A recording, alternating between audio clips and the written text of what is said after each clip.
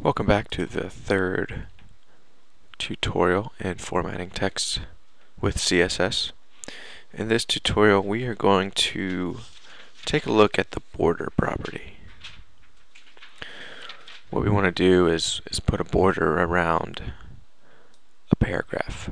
So here we have three paragraphs and let's put a border around the middle one. So since that has the P2 text class, we're going to go over here and double click on that and inside our CSS style panel and let's click on border. And we have the options of style, width, and color. So we are going to leave these same for all checked because we're just going to put a box basically around the P2 text paragraph. You click on uh, top here and you have some options. You have solid, which we're going to use, and we can you can check the other ones out if you want, but I usually uh, just like to use solid. I'm going to make it small. It's not going to be it's not going to be very thick. It's just going to be one pixel, and let's make it uh, let's make it black. Apply, and you can see that we now have some text that is outlined in black. So let's take a look here. Yes. And there we go. You can also, um, so kind of weird. I'm not sure what's going on there. Huh. But uh, we can also do a few other things with the border.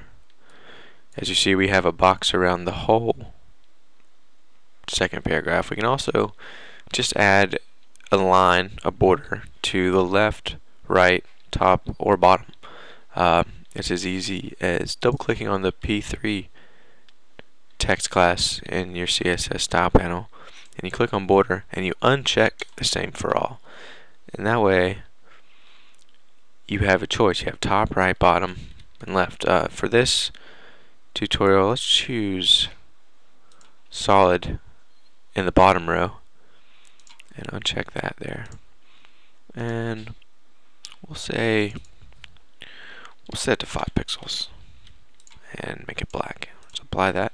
And you can see that it applied a thicker border to the bottom of our P3 text class, which is applied to this paragraph, the third paragraph.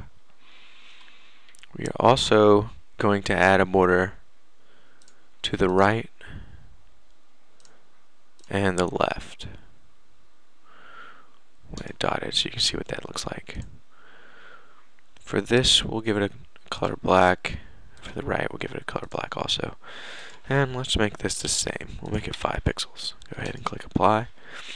Now you can see that border on the left is dotted and on the right it's solid. Let's see what it looks like when it's dashed. So you can see the different the difference here in the the dotted and the dashed, and I, I personally think the solid looks best whenever you're outlining things. So you can see that. Um, that is it for the border tutorial. In the next tutorial we will be going over positioning, so stay tuned and subscribe. Thanks.